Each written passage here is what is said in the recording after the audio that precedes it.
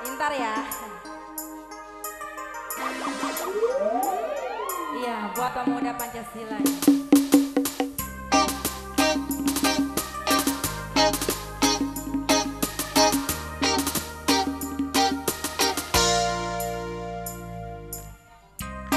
Hari ini aku bagai bidadari, bidadari di hati.